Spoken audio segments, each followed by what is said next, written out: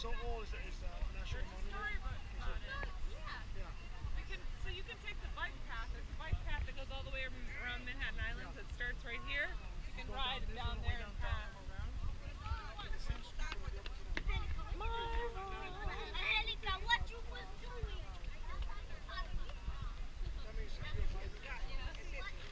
Like me, kind of about a week.